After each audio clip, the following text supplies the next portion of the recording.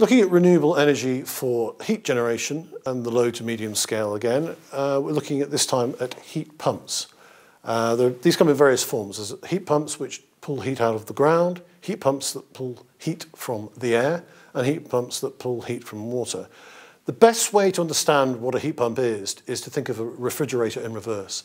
It's basically taking latent energy from a source such as the ground, which has a constant temperature about a meter down, and, and converting that into heat energy uh, into your home using a heat exchanger.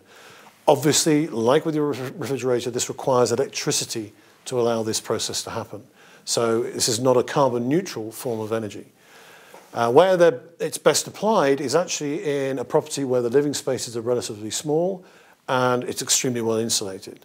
The reason being that the temperatures produced from heat pumps generally get up to around 50 degrees centigrade. Your normal heating system will run at about 75 degrees centigrade. So there's quite a big difference there. So in order to be able to heat that space effectively, it has to be well insulated to allow the heat to build up over time. So fairly low cost uh, once it's installed, quite effective uh, in the right environment, and quite a comfortable way of, of heating a building at a, at a constant temperature. Um, the downside is it needs electricity to run, and as conditions deteriorate, i.e. it gets colder outside, for example, um, the units will have to work harder, and therefore they become less efficient as, as the weather deteriorates.